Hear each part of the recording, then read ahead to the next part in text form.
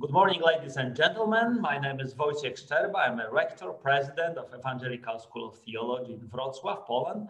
It's an ecumenical institution which believes in doing theology in a contextual way, in a dialogue which goes beyond boundaries and doctrinal divisions. We believe in theology which honors another person, no matter who he or she is, and we try to learn from their questions, from their experiences, their hopes, their needs. So we ask questions and we learn from various people of faith and wisdom. In this series, Christianity in the Age of Anxiety, we focus on the question of the meaning of Christianity in the 21st century. And it is my pleasure to introduce our special guest, Professor Stanisław Stan Obirek. Thank you very much for accepting my, my invitation. It's my pleasure. Thank you for having me here. Oh, you're very brave. I'm kidding. Professor Obirek is a renowned Polish theologian, historian, and cultural anthropologist. He teaches at the American Center of Studies at Warsaw University, but in the past, he used to work as a visiting professor at Holy Cross College at Worcester, Massachusetts, and St. Louis University. And then in 1994-98, Professor Obir, uh, Obirek worked as a president or rector of Jesuit College in Krakow, which later became a Jesuit University Ignatianum. Is that right? Yes, correct. Okay, congratulations. I'm very impressed. So in, in your work, Stan, if I may. Yes, of course. Thank you. Uh, you seem to be really interested in the place of religion in modern cultures. You're involved in ecumenical and interreligious dialogue, and you work on strategies which seek to overcome conflicts between various civilizations, cultures, and religions. And I think it is really important in our world. And you are also an author of many books and articles, and let me mention just a few of, of those. So I'm thinking of your book uh, written in, nine, in 2009, Catholicism as a Cultural Phenomenon in the Time of Globalization. And I think it's a really important presentation, an important view on Catholicism from Polish perspective, very peculiar Polish perspective. But then you wrote in 2015, Liberated Mind, in search of mature Catholicism, a beautiful book. And then in the same uh, time, you also wrote a book, Paul Catholic, with a question mark. And in the same year, you also wrote two books with one of the most, most famous sociologists and philosophers of the late 20th century, Zygmunt Bauman, of God and Man and on the world of, of ourselves. So you were very busy in 2015, I would say. And then in 2020, together with Artur Nowak, you wrote this autobiographical book interview, Narrow Path. Why did I leave the church? And I have to say that I really appreciate your writings and your broad perspective on Catholicism, religion, society, and your works on the post-secular world are very important in the context of, well, what is going on in, in our world today. And then I think your work really helped to understand what is going on in our country, which is very Catholic on the, on the one hand, and but I think it's getting more and more secular when it comes to the youngest gener Polish generations. So when, when I'm thinking of you and your role in Polish Catholicism, most of all, I'm thinking of your honesty and your courage and your publications on John Paul II and the idolatrous attitude of many Poles to the Pope were, well, to me, eyes-opening. And I think it was very courageous to work critically or to analyze critically the pontificate of the Pope just after his death. So it was very important. And then your decision, first, to leave the Jesuit order, and then subsequently to leave the Catholic Church seemed, well, like a natural consequence of the process you have gone through. And in your publications, your, interv your interviews, you frankly explain your decisions. And I think it's very touching. It's very touching to me. And I think it helped many people in Poland also. And I can imagine that it was not, not an easy decision for you. But yet, however painful, you have remained a friendly observer, analyst, and critic of the ecclesiastical life in Poland. And your voice is very significant. So thank you very much. You're welcome. I uh, appreciate your kind introduction, generous. uh, introduction. And uh, yes, 2015 was very important um, year for me also because of uh, many invitations which I got from my American friends. It was the anniversary of Second Vatican Council. And honestly, um, I have to admit or to say to our um, viewers that uh, my uh, approach uh, toward Catholic Church, uh, particularly Polish Catholic Church, um, really uh, didn't change uh, too much. I would say is that my narrative was prepared by my solid Jesuit education in 70s and 80s and my close collaboration with um, Jesuits, globally speaking, uh, American, Latin American, Asian Jesuits, uh, not only Jesuits, but you know, the, the, new way of thinking about Catholicism, about religion, about interreligious or intra-religious dialogue. All this was like natural milieu in which I grew up. And uh, the same ideas which I uh, developed or which I learned to think about in, in categories of, of, as you mentioned in your school, you are listening to others, you are sensitive to what the others are saying, you are changing your ideas because the others are giving you impulses to do it. So it was like natural. And when I came back to Poland, because it was since 80 to 2005, like going to abroad and coming back. And I thought that the same narrative which I share with my friends, uh, colleagues, uh, confreres, Jesuits in US or Rome even, uh, will be the same creative uh, milieu uh, in Poland. But unfortunately, and this is a tragedy, I think, of Catholic Church, even Jesuits uh, in this wonderful school now, University uh, Ignatianum, were less and less interested in, in creative dialogue and more and more paying attention to what bishops are saying, to what Pope is saying, to what Cardinal Ratzinger is saying, instead of, you know, developing as the people, Catholics around the world are doing, and of course paying attention to what Vatican is saying, but not uncritically accepting everything.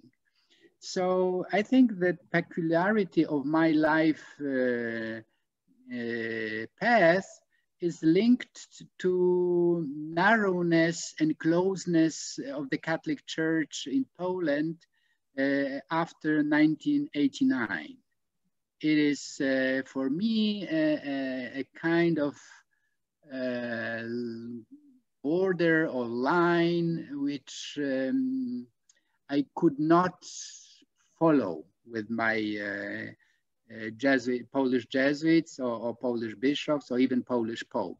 Mm. And slowly it became almost natural to be outside of this structure. And I feel really liberated as one of the title of my book is uh, clearly stating, uh, because I'm not part of this uh, uh, oppressive structure. Yeah, yeah, oppressive structure. I really like it. So here is my question.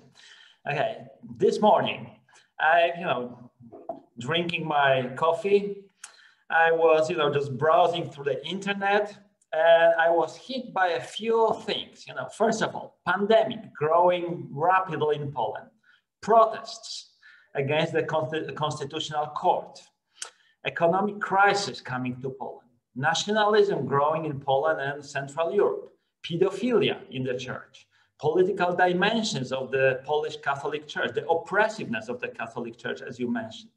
So, and obviously these are different categories, but here is my question what is wrong with Poland?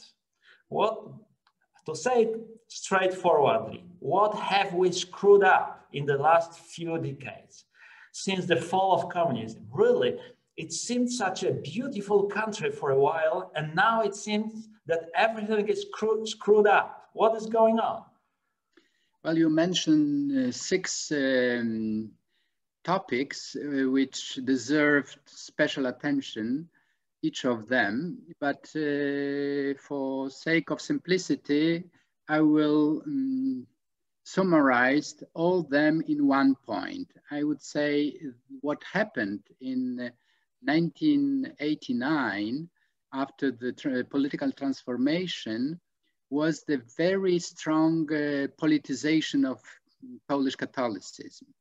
Uh, what I mean is the very close collaboration between the ruling parties. It's not only the present uh, Law and Justice Party, but it's since exactly Solidarność movement till today, we have a very strong um, supportive attitude of all Catholic, uh, of all politicians.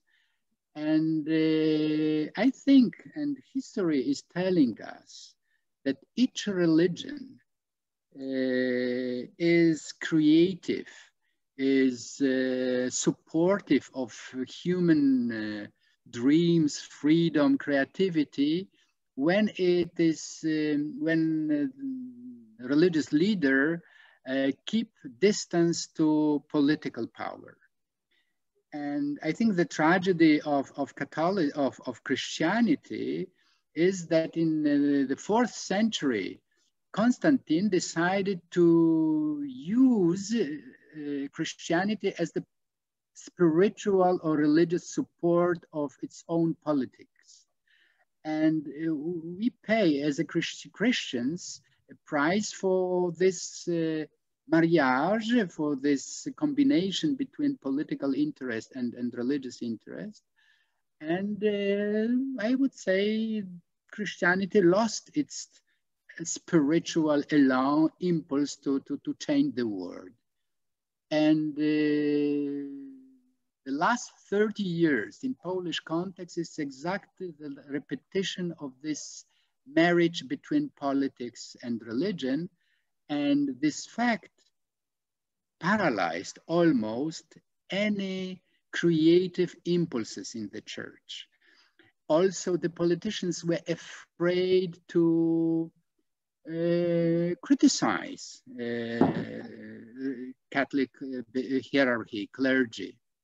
And when you are so protected, when you are untouchable, it's almost natural that you develop this arrogant attitude toward others, that you are eliminating from your uh, middle those who are critical. And uh, before our meeting, we briefly uh, spoke about um, Professor uh, Tomasz Polak, uh, former Węcławski. I think he uh, represents this rejection by the hierarchy of creative critical impulses inside the church. Just to our audience, perhaps you can explain a little bit who he is, or he will be even uh, the partner for your conversation, but I think he is very significant in this way. And all the rest are consequences. But I, I would like to conclude my, my short um, comment on the present situation with the, with the optimistic uh, uh, um, tone, namely the fact that 100,000 people are protesting on the Polish streets means that uh, jeszcze Polska nie zginęła. The Poland is still alive and this creative impulses are present on the streets and the Polish women are so wonderful that they never surrendered and they say exactly to these two oppressive structures, politicians and the clergy, basta, is enough.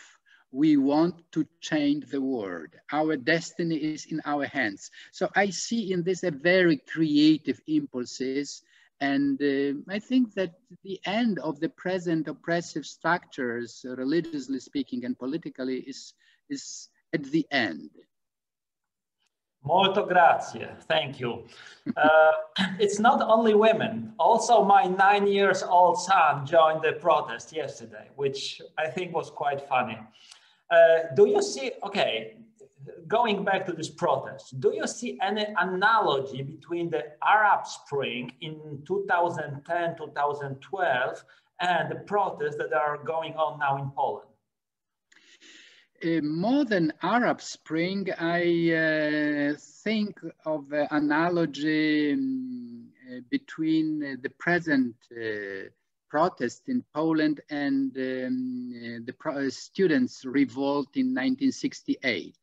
I think the analogy here is more um, evident.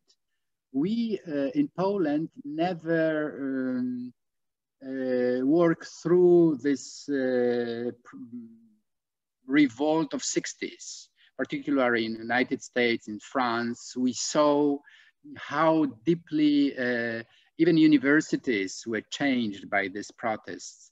Also the church, uh, not in Poland, but nevertheless in other sides of, of, of the world, Catholicism, uh, thanks to, to, to, students' revolt, is, is different and uh, very close to, to, to mine sensitivity is one French Jesuit, uh, Michel de Certeau, who, who wrote about exactly what is going on in Paris in, in, in, in May 68 and, and during the summer of this. And he wrote a beautiful essay, Prise de la Parole. The people, the streets took the words and changed the word. Uh, Arab Spring, I think, is uh, is different because it was linked to uh, perhaps um,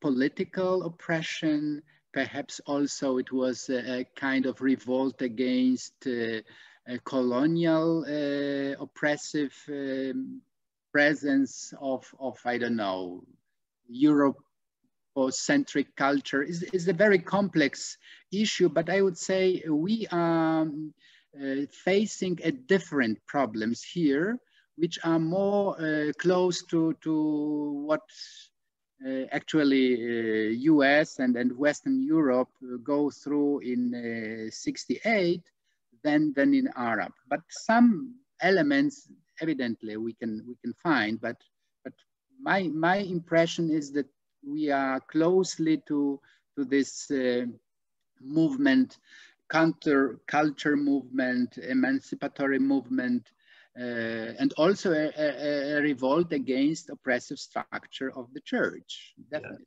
yeah. yeah. This yeah. is uh, this yeah. is my impression. So if you if you had a okay, so what do you think the church should do now, or if, it might be too late. So for instance, let's imagine that you have this chance to talk to the Pope, who is Jesuit, your former friend, or the mm, Polish, the, the primate of Poland.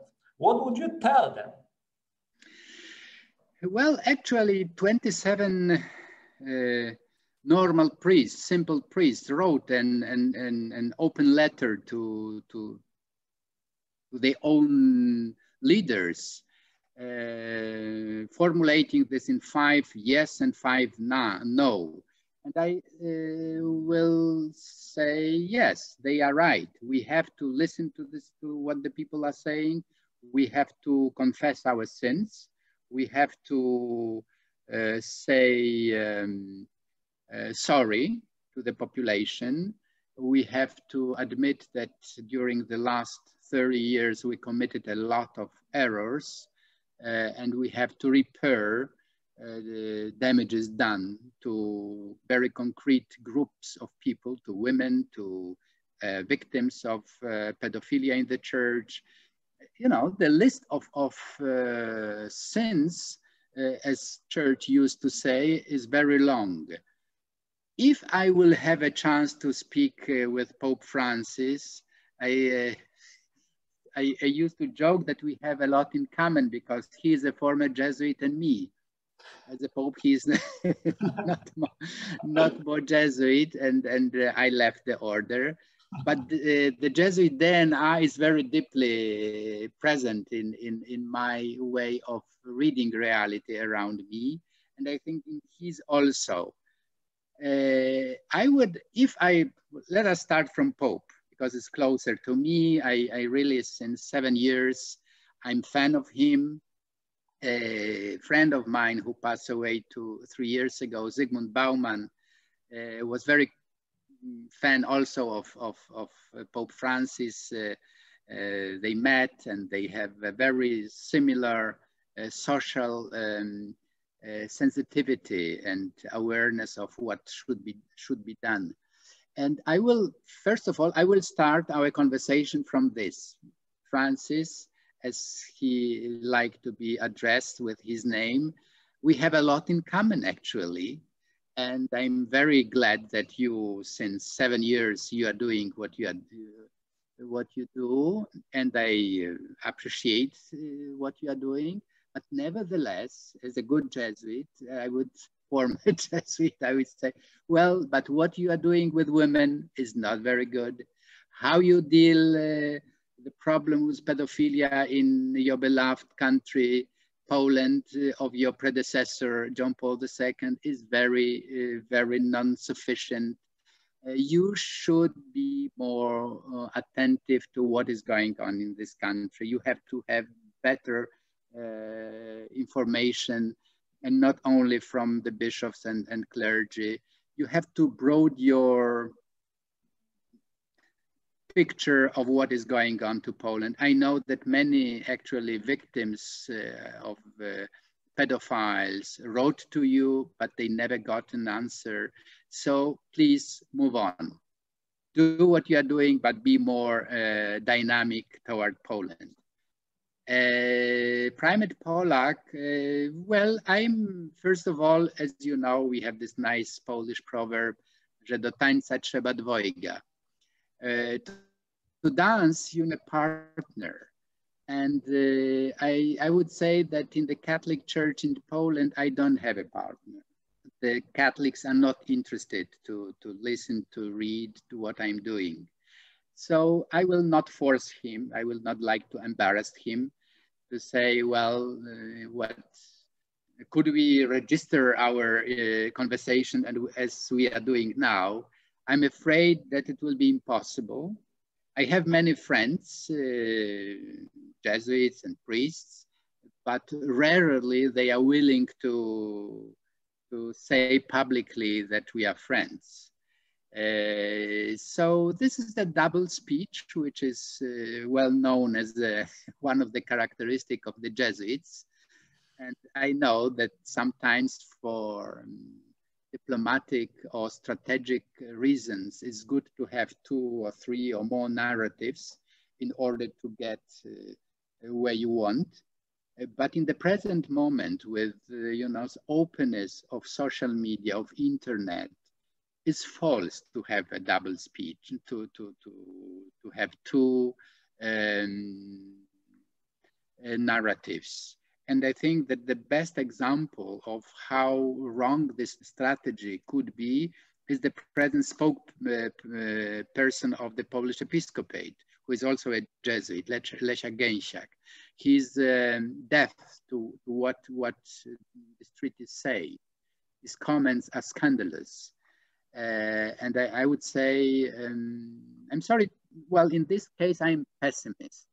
I mm-hmm. don't see in, Pol in Polish Catholic Church nobody who is willing to really confront openly uh, vital problems of this institution. Perhaps uh, we have to wait till uh, the I don't know, number or percentage of people uh, going to the church will drop to, I don't know, 10%, that it will now is less than 30.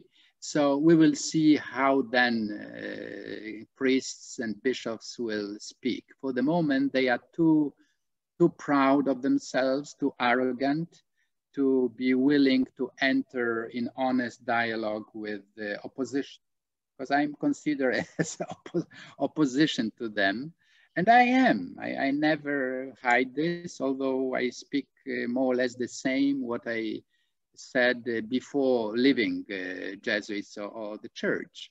Only the church actually changed. Uh, so if hypothetical conversation is possible, it should be not as ecumenism practiced by the Catholic Church, uh, which uh, see others as uh, the potential um, prodigal sons and daughters who will return to the womb of Mother uh, Roman Catholic Church, uh, then we, we, we, we will have ecumenism. But for the moment, is the one, one, one way street. So I'm, I not feel comfortable with this logic. So I'm sorry, but for the moment, the Catholic Church is not in Poland is not a partner for me. Thank you very much for your assessment. So let's say I will write to the Pope and I will invite him to such an interview or conversation as we are having at the moment. And by miracle, he agrees. Uh, would you join me? And uh, the three of us could talk the Lutheran, former Jesuit, and the former Jesuit Pope. How about that?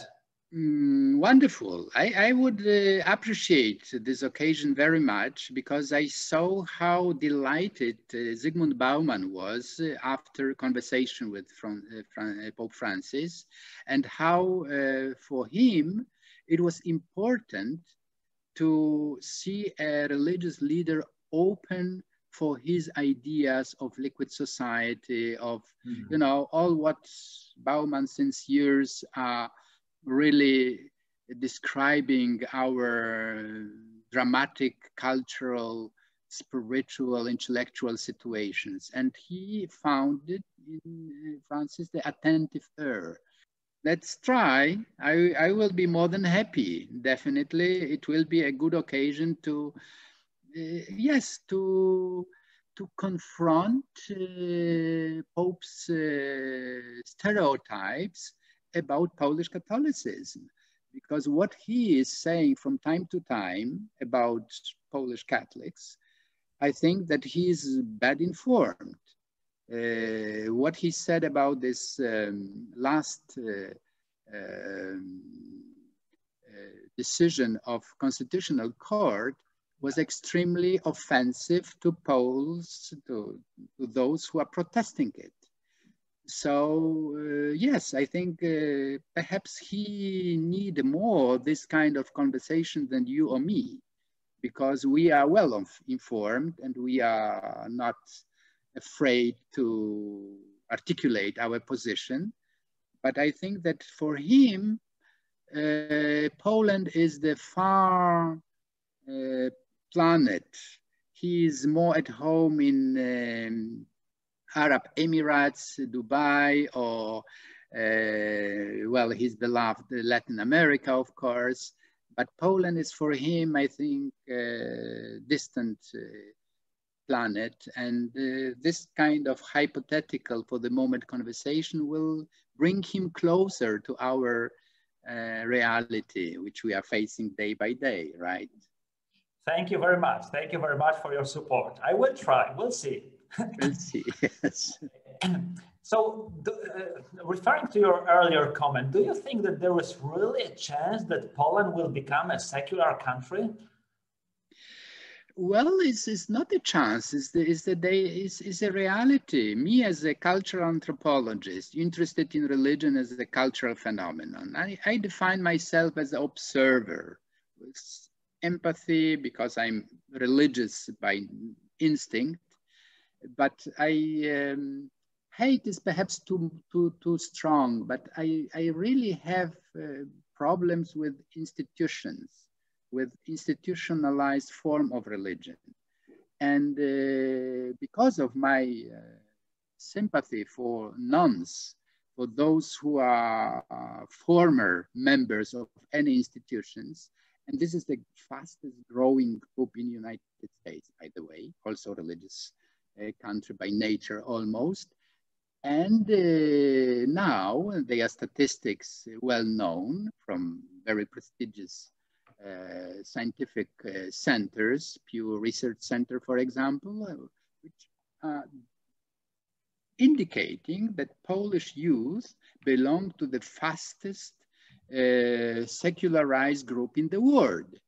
So it's not an, an hypothesis, it's not a, a guess, it's the reality. Poland is, is on the track to become a secular country, as Ireland, as Spain. Um, just a, a, small example of uh, on this.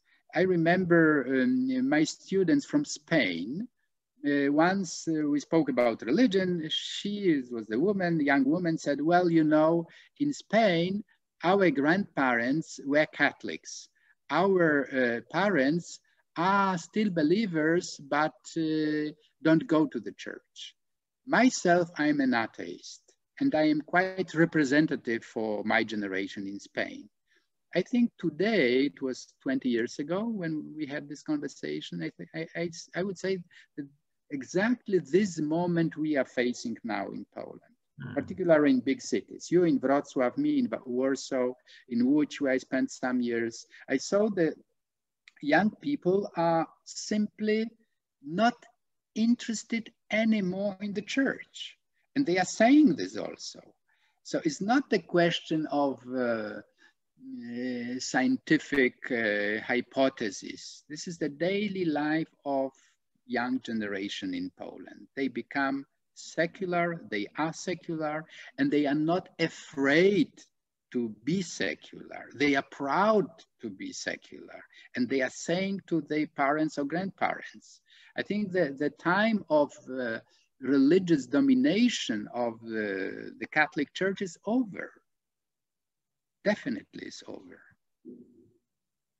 Thank you. Yes, you're right. There is research really showing this secularism growing in Poland. Uh, and there are uh, theologians and uh, thinkers who are referring to it. One of them would be obviously you, but then also you mentioned Tomasz Polak. I'm thinking of uh, Tomasz Halik from Prague, and they are, from a theological perspective, they are proud of, especially Halik, I think, he's proud of um, well, operating as a Catholic priest in a very secular country. Um, and I think, yes, it would be it would be wonderful to have this um, context in which we operate when saying that yes, I'm a Christian means something. It's not just a, cliche that anybody can say, and it really is uh, without the almost without the meaning today. Uh, well, Halik, Tomasz Halik is, is a good friend of mine, by the way, and I, I visited him many times in Prague. And I think that um, the fact that he's so popular in Poland, that uh, most, uh, many of his books became a bestseller, which is rare in Poland, but exactly because he is speaking from this, I would say, post-secular perspective, where you uh, breath with the secular air around you and you see nothing wrong with it. Pluralism is the daily life experience of, of Tomasz Halik since his youth. And it's so strange that we are living close to one another and Czechs are so different from Poles.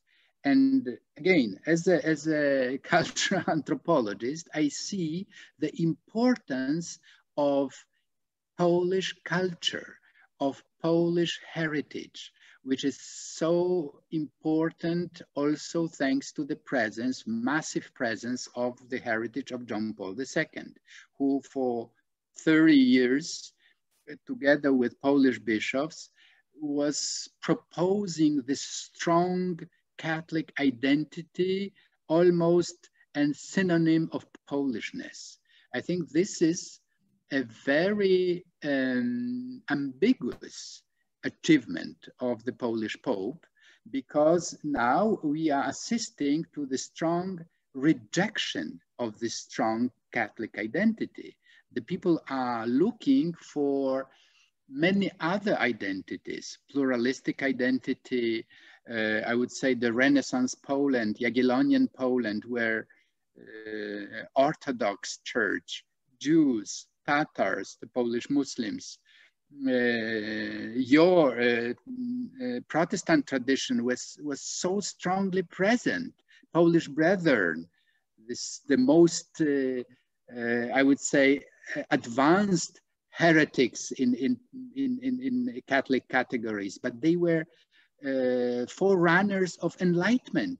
So we have our own tradition, which unfortunately in the Counterreformation time was almost eliminated. But now we have sources from which we can uh, drink of. Uh, one of the, the most beautiful book by, by Gustavo Gutierrez, my beloved uh, liberation theologian from Peru, he wrote a, a, booklet, small booklet, Beber de su propio pozo, drink from your own well. And, and uh, he was indicating, of course, the, the, the, the richness of uh, indigenous tradition of uh, uh Peruvian people. And I think that the same is in Poland. We cannot limit it, the Polish uh, roots of our spirituality only to the Catholic Church. There are so many different traditions. And in our present moment of interreligious dialogue, of ecumenism, we have to open our arms to welcome all this tradition to our heart, to our mind, and to resign from this uh, exclusivistic uh, uh, idea of Christianity as Roman Catholic Church. This is over. Yeah, yeah. You must be right.